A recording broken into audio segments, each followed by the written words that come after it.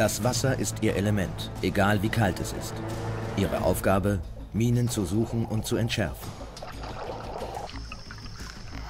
Eine Aufgabe, die geradezu übermenschliche Kräfte erfordert. Und Nerven wie ein Kaltwasserfisch.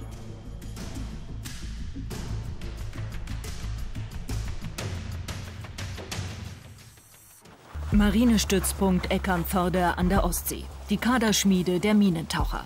Eignungstest für 17 Freiwillige mit dem Hang zur Wasserfolter. Ich habe den Willen auf jeden Fall, es zu schaffen. Ich werde mein Bestes geben und dann werde ich sehen, wie weit ich komme. Guten Morgen, Miettaucherlehrgang.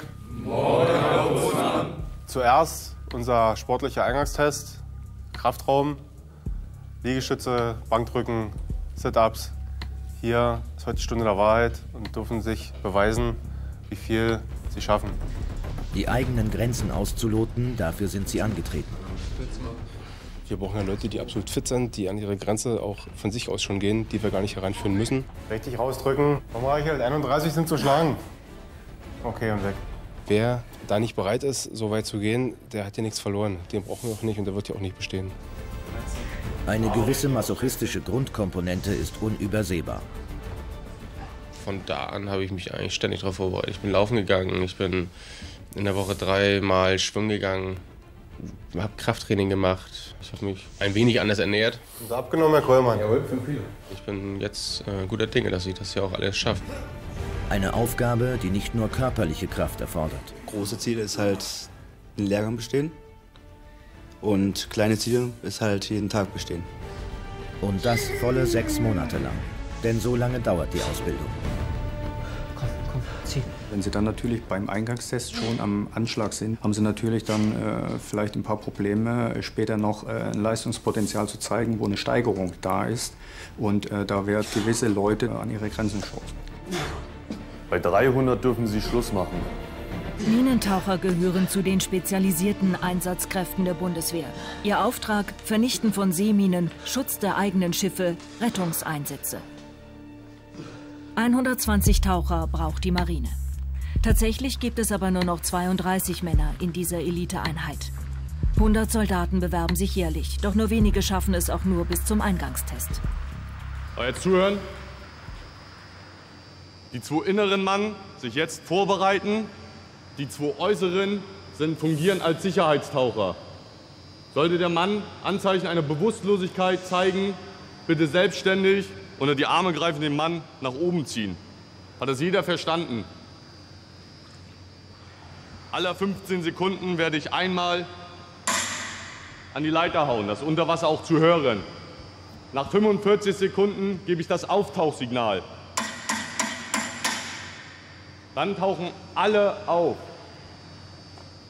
Und ab. Es beginnt mit Luftanhalten unter Wasser. Schon daran scheitern die meisten. Ein zweiter Versuch muss klappen. 45 Sekunden äh, ist normalerweise nichts. Ähm, es ist für uns Eingangstests, mit dem Basics fangen wir an, weil wir da auch sehen, ob der Mann äh, überhaupt in der Lage ist, den Kopf unter Wasser zu halten und auf die 45 Sekunden bauen wir auf. Ich könnte jetzt fast behaupten, dass jeder locker in der Lage ist, äh, zum Schluss äh, drei, äh, drei Minuten locker und äh, wenn nicht sogar mal an die viereinhalb Minuten, vielleicht fünf Minuten ranzukommen. Immerhin hat das Wasser 33 Grad. Und dennoch. Es kommt vor, dass wir Leute ohnmächtig aus dem Wasser ziehen und äh, diese dann so schnell wie möglich wieder fit machen. Wenn Sie denken, Sie sind klar, tauchen Sie ab, holen Sie die Ringe hoch. Beim Kraftausdauer, da kann man einfach mal die Zähne zusammenbeißen und, und, und durch. Aber beim Apnoe, da muss man sich immer konzentrieren, man muss sich immer runterfahren. Wenn man aufgeregt ist, ist das schon schlecht. Der Pulsschlag ist erhöht und äh, ja, sich jedes Mal wieder runterzufahren und dann die Ruhe zu behalten, das nagt nachher an den, an den Nerven. Ja, Ziel ist es, ähm, so wie die Ausbilder auch sagen, sich nachher gar nicht mehr aufs Tauchen zu konzentrieren, sondern nur auf die Aufträge. Aus dem warmen Wasser geht es nun in den kalten Schnee. Der Chefausbilder treibt die Kandidaten unerbittlich an. Ausdauerprobe bei minus 7 Grad. Wir werden jetzt als nächstes einen 5000 Meter Lauf durchführen. Auch bei diesen äh, Bahnverhältnissen bzw. Witterungsbedingungen. Laufen Sie vorsichtig. Und möglichst schnell. Weniger als 23 Minuten sind angesagt. Eine echte Herausforderung. Richtung 4, Nagel 4. Ich möchte noch was im Leben sehen und erleben. Und auch später mal sagen können, dass ich wirklich was geschafft habe. Und wer das nicht schafft, kann gleich seine Sachen packen.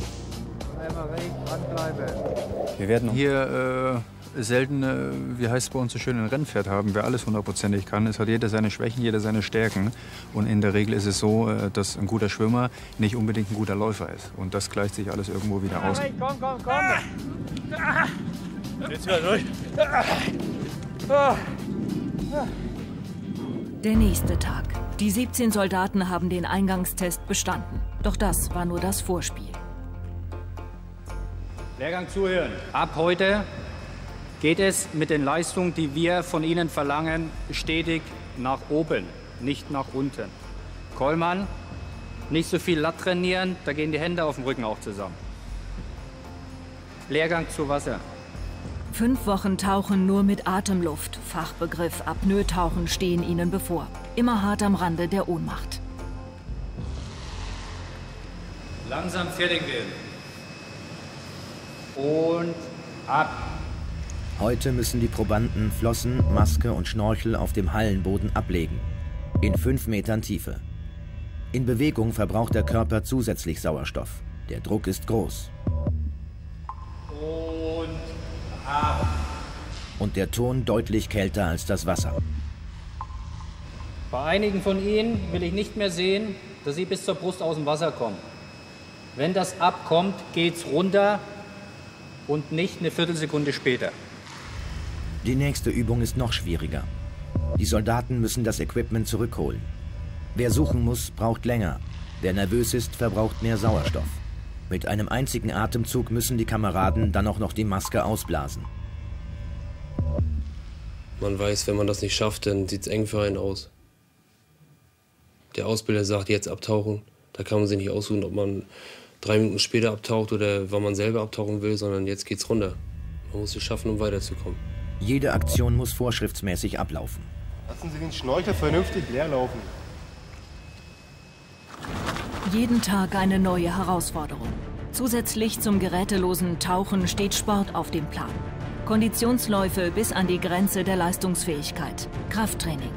Zwei Kandidaten müssen ausscheiden. Die Ausbildungsinspektion der Minentaucher in der dritten Woche. Auch der Rest der Truppe ist inzwischen angeschlagen. Bei der Morgenmusterung häufen sich die Krankmeldungen. Minentaucherlehrgang stillgestanden. Richtet euch. Augen geradeaus. Zur Meldung an Oberbootsmann die Augen links. Herr Oberbootsmann, Obergefreiter Neuer, ich melde den Minentaucherlehrgang vollzählig in der Stärke von 15 Soldaten angetreten. Ja, eintreten. Eintreten. Guten Morgen, Minentaucher Grundlehrgang. Morgen, Herr Oberbootsmann. Herr Hase. Müsste noch mal zum Arzt und Schmerzen. Auch zum Arzt Fäden ziehen. Ebenfalls zum Sand. Reißen Sie sich zusammen, dass wir am Ende der Woche keinen verlieren. Zwei Tage hat der Minentaucher in Spee wegen Ohrenschmerzen bereits gefegt. Jetzt muss die Ärztin entscheiden. Ja, bei mir ist es halt die Einstellungsgrenze bei Minentaucher oder Minentaucher- äh, Minentaucheranwärter ist 27. Und das bin ich. Und ich sehe da ganz schlechte Karten, auch wenn ich wegen Gesundheit rausfliegen würde, dass ich noch mal verlängert werden würde, um die Ausbildung noch ein zweites Mal zu versuchen. Morgen. Hallo, moin. Danke. Was kann ich denn tun für Sie? Haben Sie denn noch Schmerzen? Also ziemlich starke Schmerzen auf dem linken Ohr und das rechte Ohr, das geht so einigermaßen. Gut, dann gucke ich mir das mal an. Ein bisschen zu mir drehen, genau. Machen Sie mal Druck ausgehen. Und hier tat es jetzt mehr weh, oder? Genau. Mhm. Nicht draufdrücke, tut es da weh? Ja, halt rechts mehr als links. Also hier ist noch so zugeschwollen, dass ich noch nicht mal das Trommelfell sehen kann. Das ist auf der ähm, linken Seite noch sehr, sehr, sehr angeschwollen. Entweder sein Traum vom Minentauchen platzt oder das Trommelfell. Wenn beim Tauchen ähm, kein Druckausgleich stattfinden kann, dann ist irgendwann äh, das Trommelfell so weit gespannt, dass es in, entweder in die eine oder in die andere Richtung, das geht äh, in beide Richtungen, eben zerreißt einfach aufgrund der verschiedenen Druckunterschiede. Auf der einen Seite ist ein Überdruck, auf der anderen Seite ist ein Unterdruck. Wenn kein Druckausgleich stattfinden kann, sucht sich ähm, der Druck halt den Weg des geringsten Widerstands. Das ist an dieser Stelle gerade ähm, in dem Bereich Ohr eben das Trommelfell und das zerreißt dann einfach. Und das tut richtig weh und dann ist auch sowieso vorbei mit Tauchen. Der Patient will das riskieren. Die Ärztin zögert. Training oder Trommelfell? Nee, also heute. Ich, müsste ich sonst mit den Ausbildern nochmal Rücksprache Oder haben Sie das schon gesagt? Wenn Sie jetzt heute ausfallen, sozusagen, dass Sie dann äh, raus sind? Oder? Wir haben nichts gesagt, aber nichts gesagt. das wäre auch doof für mich, weil ich bin über 27. Das ist die letzte. Äh, okay. Ähm. Also ich probiere es, wenn es nicht runtergeht, ähm, sage ich sowieso Bescheid. Dann drücke ich heute mal zwei Augen zu und ähm, müssen aber auch äh, dann einfach ehrlich sein, wenn es gar nicht geht. Ne? Und seien Sie sich dessen bewusst, dass es im Endeffekt auch wieder so explodieren kann, ähm, dass Sie sowieso rausfliegen, auf gut Deutsch. Muss richtig. Ja.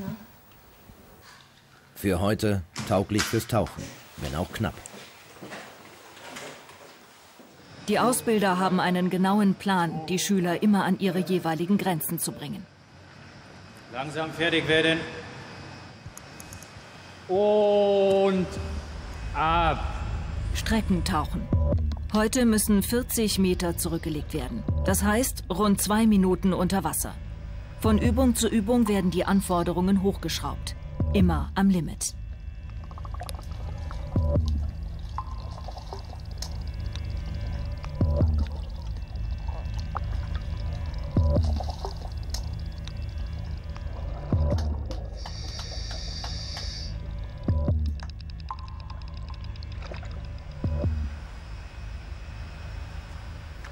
Die Taucherärztin kommt dazu und beobachtet ihr Sorgenkind. Der Durchhaltewille sollte nicht stärker als das Trommelfell sein. Denn dann ist es mit der Karriere als Minentaucher ohnehin vorbei.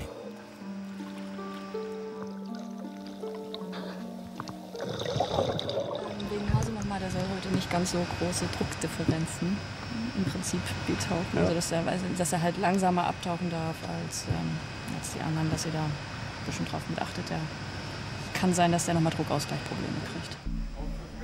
Schwer beladen mit Gewichten geht es jetzt vom Sprungturm in die Tiefe. Die ersten drei, Gewichtsgurt anlegen. Bleigewichte, damit sie nicht gleich wieder auftauchen. Machen Sie einen beherzten Schritt nach vorn, da kann auch nichts schief gehen. Und ab. Die zukünftigen Minentaucher müssen jetzt zeigen, dass sie genug Luft mitgenommen haben, um nicht gleich wieder auftauchen zu müssen. Auch da sind verstopfte Gehörgänge höchst hinderlich. Ja, wegen den Ohren halt, ja. Es geht jetzt ziemlich schnell runter. Muss man gucken, dass es jetzt funktioniert. Und dann ein bisschen knackig die Übung schon. Unter Wasser müssen auch noch diverse Handgriffe erledigt werden. Bei knapper Luftreserve. Ja, es ist natürlich schon anstrengend. Ne? Gerade den Gewichtsgurt nachher auf die Schulter zu legen, weil er ziemlich schwer ist. Wenn das Gebückte die Hose schnell auszukriegen, muss man natürlich ruhig bleiben und nicht in Panik verfallen. Weil umso mehr Sauerstoff verbraucht man dann nachher, ne? umso mehr Kraft man aufwendet. Und ab. Mut entsteht im Kopf. Ist der Geist nicht willig, dann bleibt der Körper schwach. Ja, das ist halt genau dieses Kopfkino, diese, was man hat, was man versucht zu unterdrücken. Dass, ähm, wenn man denkt, gestern war schon eng und dann morgens in die Halle kommt und dann, dann schon alleine dieser Geruch von der Halle, diese Wärme und ähm, das nagt. Und das ist äh, dieses Anstrengende und dieses, dieses, ja, dieses Nervenzermürbende, was man jeden Tag neu hat. Aber dann muss man immer eine Übung abhaken und die nächste kommt und die wieder versuchen, ja, so gut wie möglich zu erledigen. Wenn man sich jetzt auf eine Sache versteift und äh, die ganze Zeit sagt, das schaffe ich jetzt nicht, das schaffe ich nicht, dann wird es immer schlimmer. Und natürlich wird man immer aufgeregter. Aber aufgeben, das, das, das, das gibt es nicht mehr. Der Kandidat beißt sich durch. Am schlimmsten ist das Auftauchen mit letzter Luftreserve. Da kann es leicht zur Ohnmacht kommen. Da hilft nur, ordentlich durchzuatmen.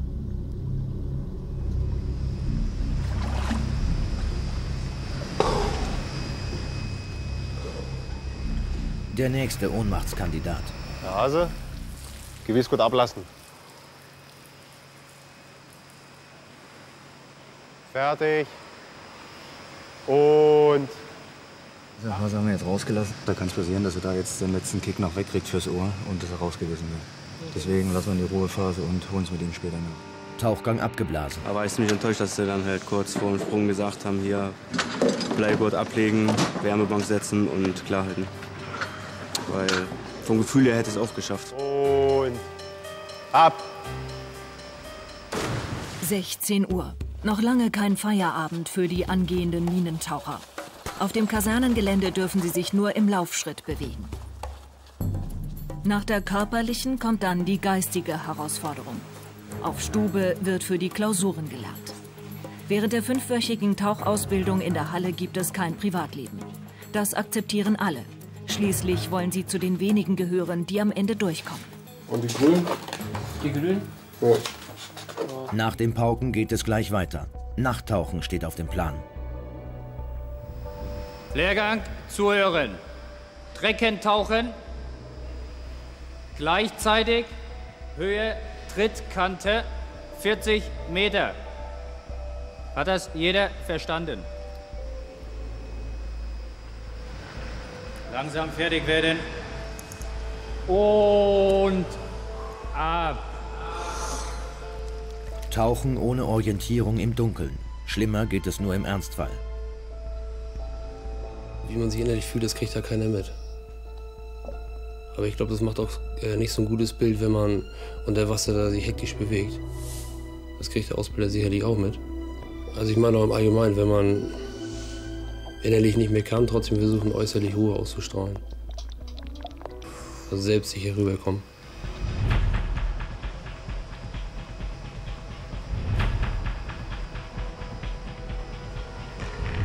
Einer geht dieses Mal über seine körperlichen Grenzen hinaus. Freunde, schau mich an. Her damit. Die Grenze zur Ohnmacht ist überschritten. Typischer Fall von Schwimmer-Blackout. Ne? Ja, der taucht auf und meistens klappen die Augen sofort nach hinten. Deswegen sollen die uns ja mal sofort angucken und dann werden die Augen weiß. Und dann fangen die auch so leicht an zu krampfen und zu spannen. Ja, und dann ist halt nur noch Reaktion gefragt. Ne? Dann reagieren, man so schnell wie es geht aus dem Wasser und meistens fangen die sich innerhalb von fünf bis zehn Sekunden wieder.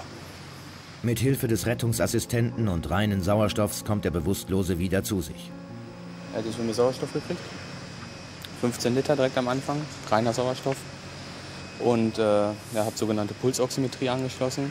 Das zeigt mir also an, wie schnell sein Herz schlägt und äh, wie viel Sauerstoffsättigung im Blut im Endeffekt vorhanden ist. Na, wenn, wenn ein Licht ausgehen dann ist, hat man halt, keine Ahnung, was falsch gemacht oder ist halt so. War wahrscheinlich zu langsam oder so. Oder so. Für den Mann ist es am besten, äh, was sich durch Erfahrung gezeigt hat in unserem Job, dass er so schnell wie möglich wieder ins Wasser kommt. Er darf quasi nicht die Zeit kriegen, darüber nachzudenken, was passiert ist. Wenn wir ihn gleich nach der Pause wieder mit einkledern, wieder mit reinschicken, hat er nicht die Zeit nachzudenken. Und dann äh, können wir ihn äh, auch ins, mit ruhigem Gewissen in Feierabend schicken, dass er am nächsten Tag wieder mittauchen kann. Sonst hat er zu viel Zeit nachzudenken. Reichelt, wie sieht's aus?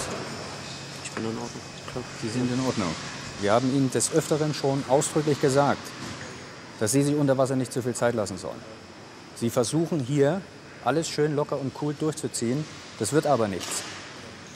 Sie mussten dann schauen, wo der Kamerad steckt. Der hat schon gewartet auf Sie, weil Sie sich zu viel Zeit gelassen haben.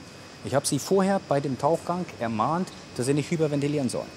Das ist dann das Ende, was dabei rauskommt. Das hört mir ab sofort auf. Sonst unterhalten wir uns nur noch einmal. Ist das verstanden? Jo.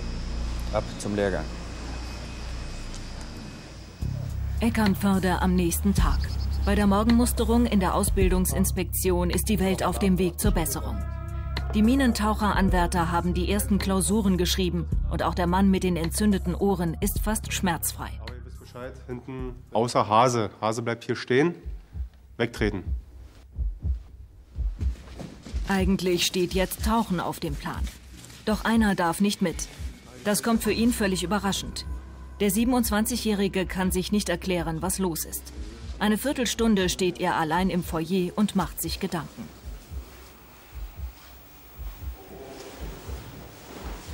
Entweder darf ich nicht mittauchen wegen den Ohren, dass sie mich jetzt schon wollen, oder irgendwas anderes. Einfach mal abwarten. Für die anderen in der Taucherschule geht es weiter. Vorbereitungen zum nächsten Tauchgang. Hier ist ein bisschen stressig momentan, weil wir wenig Zeit bekommen haben für die ganze Vorbereitung. Die Geräte müssen wir noch holen. Hier müssen wir jetzt alles aufbauen. Ist ein bisschen eng, ja, aber wir beeilen uns.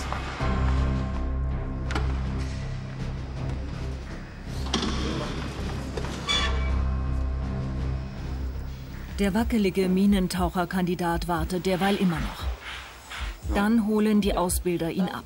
Diesmal sind es nicht die Ohren. Dann, dann nach uns. Okay. Unterlagen, soweit alle mit?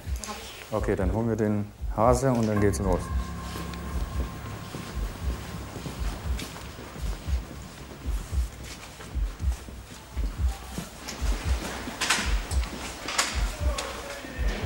Herr Hase, nehmen Sie hier Platz. Herr Hase, wir sind hier zusammengekommen, damit die Taucherärztin Ihnen den Leistungsnachweis eröffnet. Und danach unterhalten wir uns. Ja, ich gebe Ihnen den Leistungsnachweis erstmal wieder. Und ich glaube, Sie hatten ja auch von Anfang an so ein bisschen das Gefühl, dass das nicht ganz Ihre war, oder? Hatten Sie nicht gelernt oder hatten Sie? So, ich habe gelernt, aber Tauchermedizin ist nicht ist so. nicht so Ihres, ne? Also ich muss sagen, es hat einfach nicht gereicht. Also selbst mit ganz viel lieben wollen, ähm, das ist eine 5. Eine 5 heißt, die Mission Minentaucher ist für ihn erst einmal vorbei. Nicht wegen der Trommelfellentzündung, sondern wegen Mängeln in der Theorie. Ausgerechnet Tauchermedizin.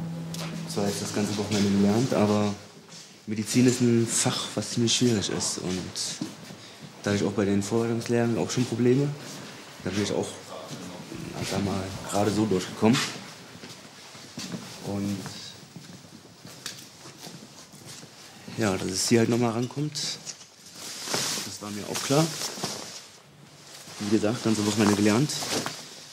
Und dann ist halt mehr Schlüsselfehler gemacht als richtige Fehler. Vorläufiges Ende einer hoffnungsvollen Karriere unter Wasser.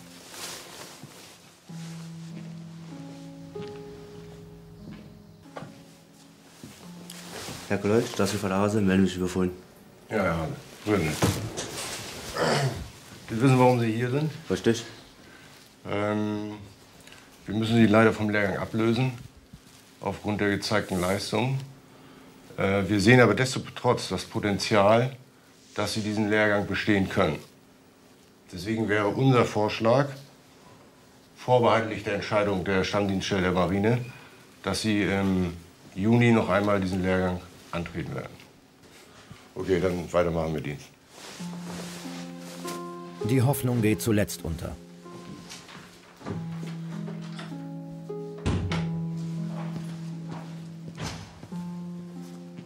Auch wenn der Grund für das Scheitern kaum auf äußere Umstände abgeschoben werden kann, Selbsterkenntnis gehört zur Ausbildung. Es ist keine Schande, in der dritten Woche rauszufallen. Okay, wegen Lernen, halt was schwer zu lernen war, ist schon ein bisschen peinlich. Also ich habe eher gedacht, dass ich wegen irgendwas Körperlichen rausfalle.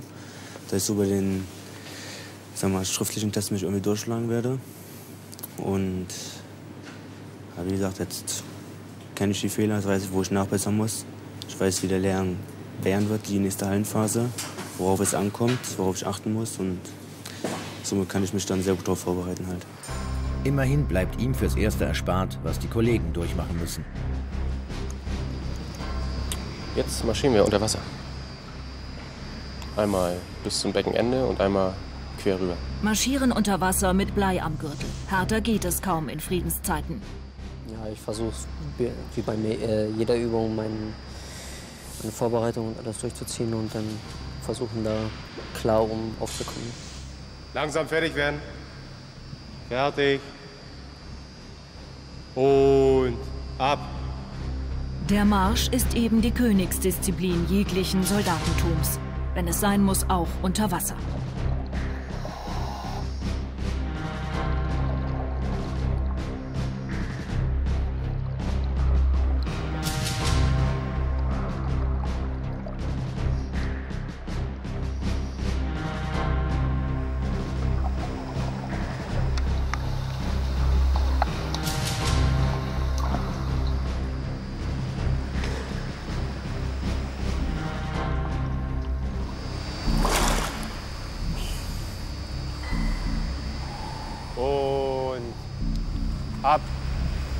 Zum Glück wird unter Wasser kein Gleichschritt gefordert.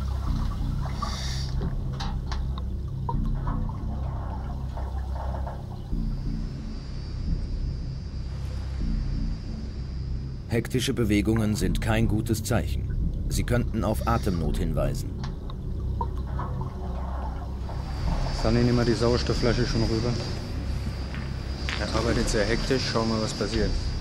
Man weiß aus Erfahrung, hier könnte gleich eine Portion Sauerstoff fällig sein.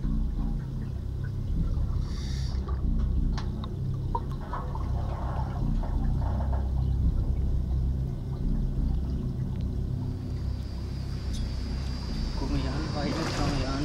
Ruhig atmen, ruhig atmen, ruhig atmen. Noch einmal gut gegangen.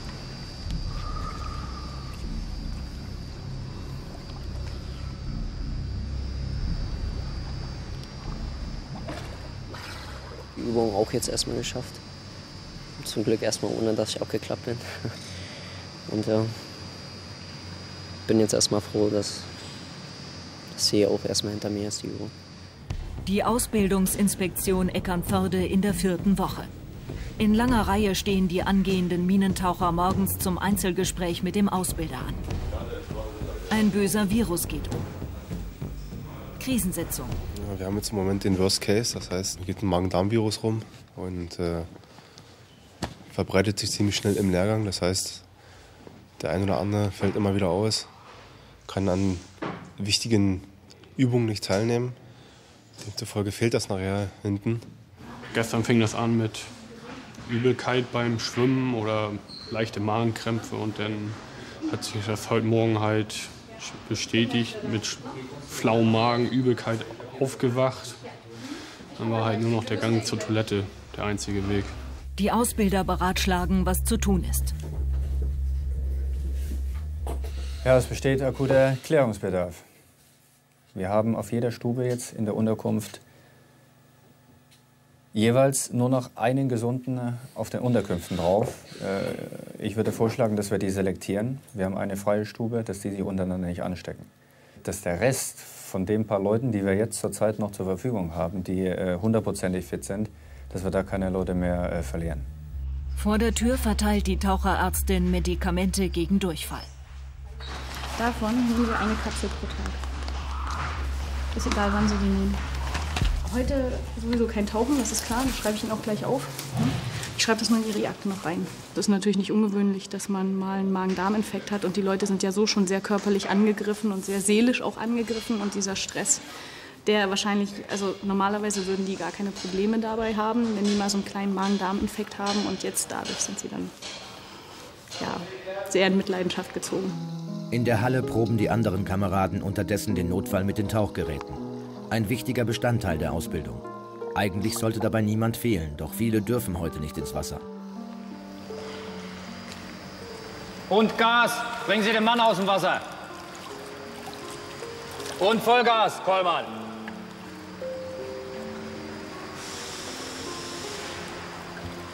Sehen Sie zu, Kollmann, der Mann muss raus!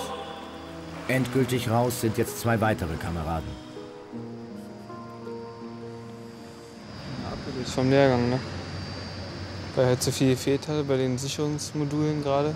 Da kann man nicht mehr nachholen und extra Wurst gibt's halt nicht, ne? Stolter Munzert, Sachen soweit auf Null gebracht? Alles klar zur Abgabe? Ist alles im Spind verstaut? Ist alles im Spind verstaut. So, dass es trocknen kann. Okay, dann lassen wir das abtrocknen bis morgen. Da wird heute noch nichts abgegeben. Das bringt so nichts, weil die dann eh wieder rauskommen und äh, zur Überprüfung im Taucherlager wieder vorbereitet werden. Dann werden Sie jetzt sich auf Ihre Stube begeben. Ab auf Koje.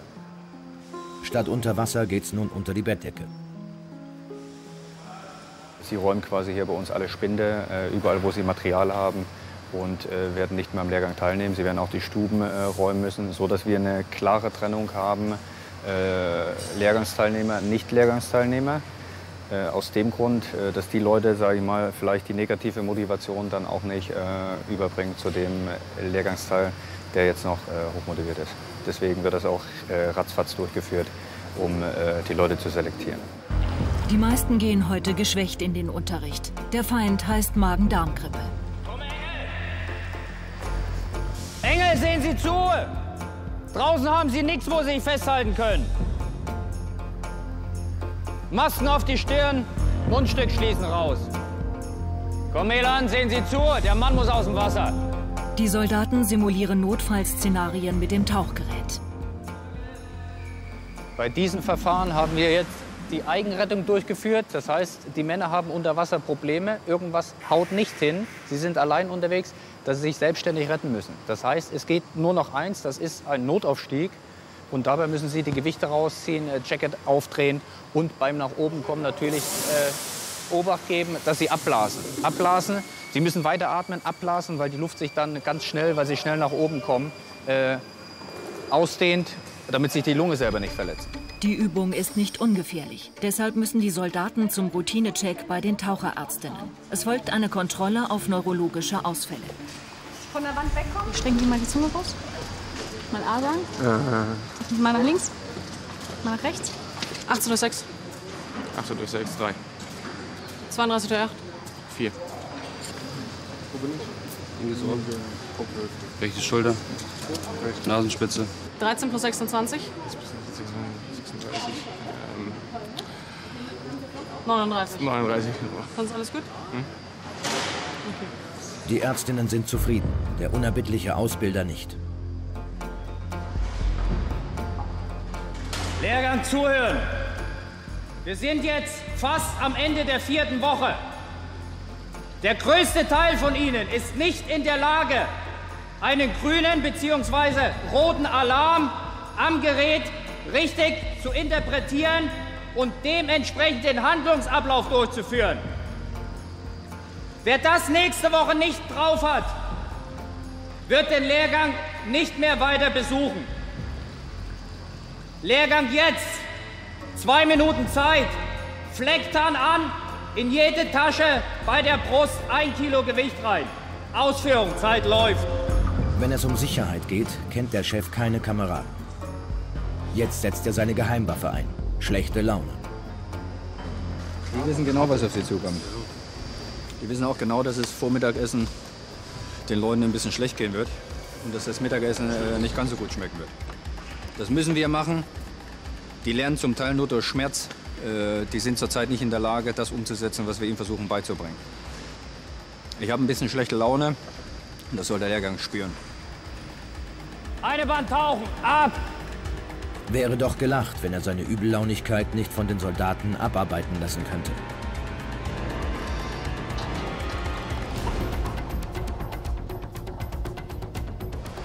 Raus aus dem Wasser! Ausgangsstellung 1 zu 30, Seilbach zählt. Und nehmen Sie die Füße hoch.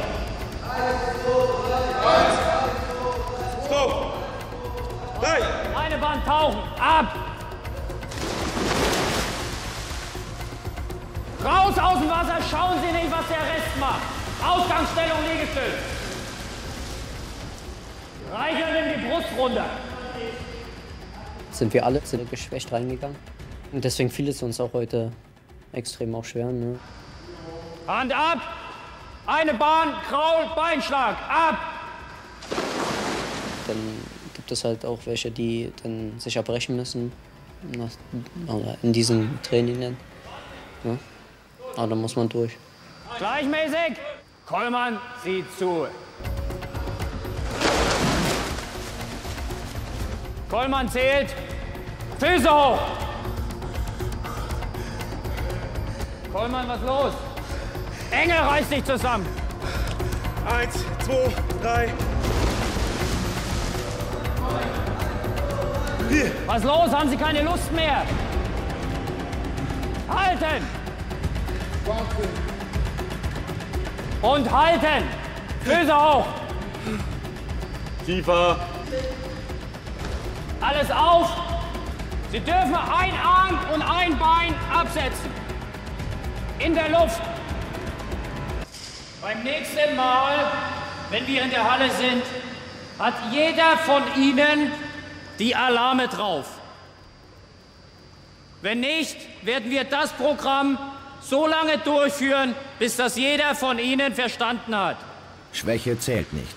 Im Ernstfall würde der Feind auch keine Rücksicht auf ein Magen-Darm-Virus nehmen. Ja, ich habe auch hier ähm, einen kleinen Infekt gehabt. Ich war gestern auch den ganzen Tag krank. Ja, und heute ist noch nicht ganz raus. Und ist man nicht ganz so am, ja, am Maximum der Leistung. Also man ist nicht ganz da, ganz einfach. Das, das ja, kennt ja jeder selber. Eine Stunde später sind fast alle am Ende. Fieber, Magenkrämpfe, Durchfall. Jeder Tag beginnt und endet mit Muskelkater. Die Kondition der angehenden Minentaucher lässt nach und das Ziel scheint in weiter Ferne. Wenn man kaputt ist, dann will man eigentlich immer aufgeben, ne? wenn der Körper eigentlich nicht mehr so mitmacht. Ne? Aber irgendwas, irgendwas hält einem, wo man sagt, man macht weiter. Ne? Aber wenn man schon so weit gekommen ist, vier Wochen sind wir ja fast dabei schon, dann ist ja noch eine. Und das wäre dann alles umsonst gewesen. Und nee, das Aufgeben geht da nicht. Am nächsten Morgen herrscht vor dem Ausbilderbüro der Minentaucher wieder Hochbetrieb. Viele hat es über Nacht erst richtig erwischt.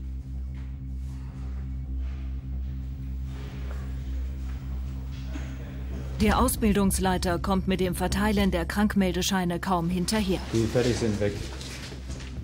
Auch geschwächt geht's nur im Laufschritt.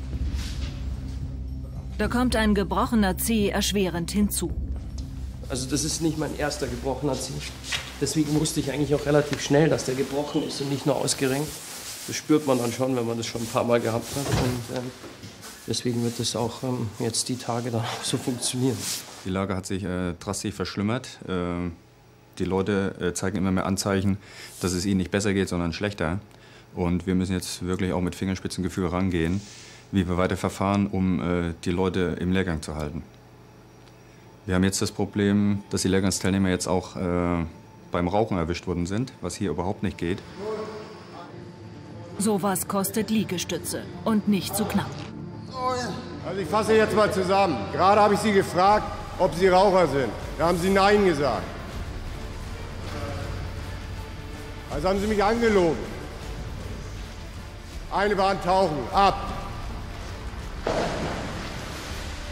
Aus dem Wasser. Zehn Liegestütz. Eine Bahn tauchen, ab. Los, aus dem Wasser raus. Zu Wasser. Aus dem Wasser. Zu Wasser. Eine Bahn kraulen, ab. Wenn die hier bei manchen Übungen selbst ohne Rauchen schon im Limit sind, dass wir diese ohnmächtig rausziehen, äh, erschwert das äh, die Übung natürlich ungemein, äh, wenn die auch durchs Rauchen äh, die Übung dann schon gar nicht mehr schaffen. Und das äh, bringen wir dem Kameraden jetzt hier bei, dass er das nicht wieder macht. Im Ausbilderbüro ist der Beam of Pain, der Balken der Schmerzen, halb leer. Die übrigen Zylinder sind im Einsatz. Balken des Schmerzens steht für Bestrafung. Für Fehler eines Einzelnen muss der ganze Lehrgang büßen. Pro Zylinder müssen die Kameraden 50 Liegestütze, 50 Rumpfdrehbeugen und 50 Mal Hinlegen, Aufstehen ableisten.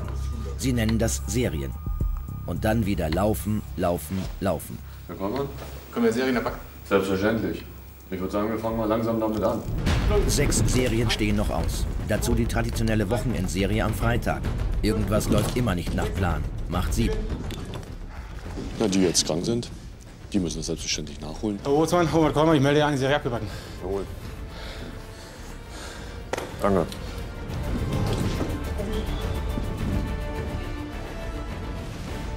Und noch etwas verdirbt die Freitagslaune. Ins Wochenende geht es erst, wenn alle Stuben blitzblank geputzt und aufgeräumt sind. Ja, wir fahren jetzt zur reinen Schiffabnahme. Da gucken wir uns einmal die Stuben halt an und die Nasszellen. Und wenn die in Ordnung sind, können sie halt weiter ihre ausstehenden Serien abarbeiten. Auch bei der Sauberkeitsprüfung der Stube, militärisch rein Schiffabnahme, lassen die Ausbilder nicht den kleinsten Fehler durchgehen.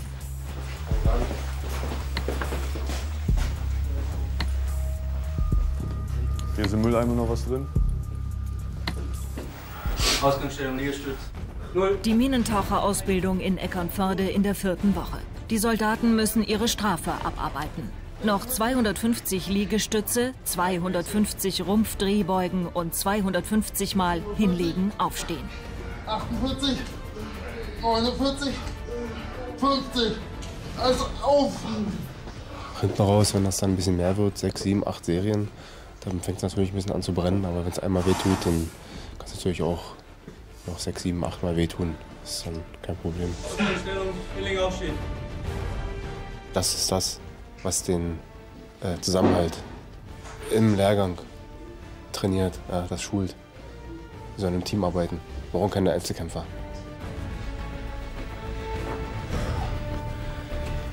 Wo kommen wir ran? Jetzt machen Sie Körperhygiene, ruhen Sie sich noch aus. Anschließend können Sie ins Wochenende fahren. Und denken Sie nächste Woche vor allen Dingen daran, viele feste Glieder bilden eine starke Kette. Kontrollieren Sie sich gegenseitig. Fragen Ihrerseits? Stelle fest nicht. Dann Minentaucherlehrgang stillgestanden, nach vorne in den Feierabend wegtreten. Wenn endlich der Schmerz nachlässt, ist das Wochenende doppelt so schön. Das war schon der Punkt erreicht, so, wo man dann so, oh, also zittern tut man, oder ich zumindest, noch eine Serie mehr oder zwei, dann sehe ich es nachher auch anders aus. Ne? Und hätte man ein bisschen mehr gegessen nachher oder zum Mittag. Zum Mittag hatten wir auch nicht so viel Zeit. Dann wäre das nachher garantiert wieder alles rausgekommen. Ne? Letzter Tag der Hallenausbildung. Den angehenden Minentauchern steht die härteste Prüfung bevor. Unterwassermarsch ohne Atemgerät. Ich befürchte, dass sich die Leute jetzt zu sehr unter Druck setzen, selbst persönlich, und dann äh, die Übung nicht schaffen. Das befürchte ich. Weil 80 Prozent des Lehrgangs jetzt mit Sicherheit im Kopf haben, dass jetzt wieder eine Übung kommt, die sie noch nicht kennen oder die sie noch nicht gemacht haben. Wollen wir hoffen, dass der Körper mitmacht. Ab! Die künftigen Minentaucher müssen mit nur einem Atemzug Luft das Becken umrunden. Unter Wasser. Das geht ans Limit. Um und bei zwei Minuten dauert das. Das ist schon recht lange. Von daher das hier schon ein bisschen schwieriger. Besonders jetzt die letzten hier Armzüge. Da kann es schon mal eng werden. Kopf in den Nacken, Hände auf den Rücken. Der nächste Unterwasserwanderer. Die kriegen zu viel Panik. Guck mal, die läuft überhaupt nicht richtig. Ja, zum Schluss wurde es schon knapp, ne? Aber es ist ja trotz alledem erstaunlich, wie viel Luft man eigentlich hat. Ne? Für denjenigen selbst unter Wasser ist natürlich knapp, aber anhand seiner Gesichtsfarbe haben wir gesehen, dass es noch nicht so knapp war. Er hat schon noch ein paar Reserven gehabt. Ist ein guter Mann. Für andere wird das am Ende ernsthaft knapp. Wenn sie Anzeichen einer Ohnmacht spüren, sollen sie den Gewichtsgott abwerfen und auftauchen, sofern sie die Anzeichen schnell genug bemerken. Und es nicht schon zu spät ist. Guck mal, der bewegt ja seine Arme kaum. Komisch, wie einschlafen. Also bis zur Leiter habe ich noch alles mitbekommen und dann, keine Ahnung, es ist Unterbewusstsein, wie auch immer. Und dann wacht man wieder auf, wenn man am halben Fußboden liegt. Der nächste bricht die Übung ab, als er merkt, dass er nicht mehr klar bei Verstand ist. Dann haben sie das Schlimmste hinter sich. In Zukunft werden sie nur im Notfall ohne Gerät tauchen müssen. Kopf und Nacken. Die Übung ist halt nicht bestanden, sozusagen, weil ich abbrechen muss. Es werden immer weniger. So, Männer. Der erste Step Richtung Ziel ist geschafft. Alles vorbei. Kein Apnoe mehr, keine Quälerei mehr in dem Sinne. Aber leichter wird es dennoch nicht. Ja, zusammenreißen. Für den einen war es schwerer, für den anderen war es leichter. Alles in allem war das in Ordnung. Und Sie fragen Ihrerseits. Klar zum Feierabend. Endlich geschafft, ne? Fünf Wochen. Manche, hart, manche Tage waren sehr hart. Man ist froh, dass es vorbei ist, ne? Das erleichtert mich sehr. Keine Quälerei mehr im Wasser. Ja, man ist echt erleichtert jetzt. Man ist richtig erleichtert. Endlich die Halle vorbei. Fünf Wochen hier. Das reicht.